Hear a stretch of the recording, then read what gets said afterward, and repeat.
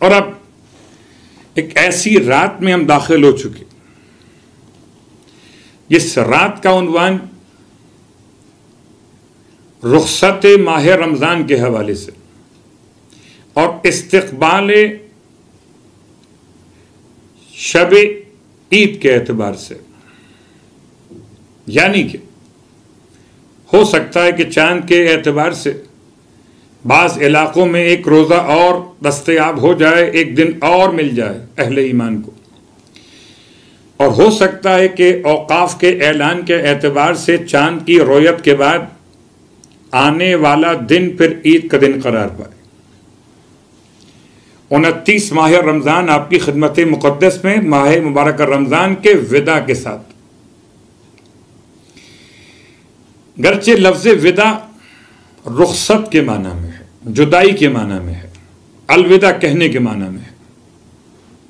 और अलविदा उसे कहा जाता है, विदा उसे किया जाता है जिसका इस्तेमाल किया गया हो।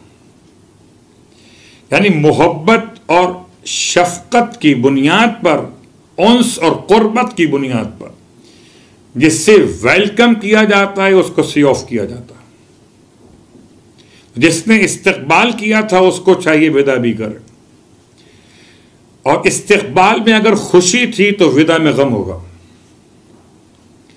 और अगर इस्तकबाल में खुशी नहीं थी तो विदा में खुशी होगी। अजीब बात है। दुनिया के मुसलमान अजीब हैं, जो ईद की आमद की खुशी मनाते हैं, मगर माह रमज़ान के जाने का गम नहीं मनाते। मैं ये नहीं कहता कि इंसान ईद उल फित्र की आमद पर मुबारकबाद न पेश करे। लेकिन यह ज़रूर कहूँगा कि मुबारकबाद पेश करने से पहले माह रमज़ान को रुखसत तो कर ले, विदा तो कर ले पहले। और विदा माह रमज़ान के हवाले से शेख अब्बास कुम्मी ने और सैयद इबन ताउस अलहमा ने किताब अखबार के अंदर एक नहीं, दो नहीं, तीन नहीं, तकरीबन दस दुआएँ नकल की हैं। अगर ये आखिरी रात करार पाए तो इतनी दुआएँ इस रात के लिए नकल हुई है कि इंसान पढ़ता रहे और रात मुकम्मल हो जाए। या मौलाए कायनात अली इबन अबी तालिब सलाम की बारगाह मुक़दस से इस रात के शब्बदारी के उनवान में रिवायत के अल्फाज मौजूद है कि मौला इस रात में जागने का अहतमाम करते थे। इस रात में जिन आमाल की अंजाम दही के लिए मुतवजह किया गया, उनमें से पहला अमल आखिरी रात। अब हो सकता है कि ऐलान अगर चाँद का ना हो सके तो ये कल और भी मौका मिले। इन आमाल का गुस्ल अंजाम दे। नंबर एक, माह रमज़ान की आखिरी रात। में नंबर दो, ज़्यारत इमाम हुसैन सलाम अंजाम दे। खुदा मुझे भी और आपको भी और तमाम अहले ईमान सामीन और नाजरीन को भी। शब ईद सरकार सैद की हरम में गुजारने की तोफ़ी अता फरमा कितने साहिबान ईमान ऐसे थे। हर साल शब ईद मौला हुसैन के हरम में गुजारते थे। इस साल कोरोना वायरस वबा की बुनियाद पर रास्ते महदूद हैं। मुश्किलात और परेशानियाँ ज़्यादा हैं। इन खुदा हालात को बेहतर करने वाला और तमाम शायकीन ज़्यारत को मुतमनी ज़्यारत को इन ज़्यारत नसीब हो।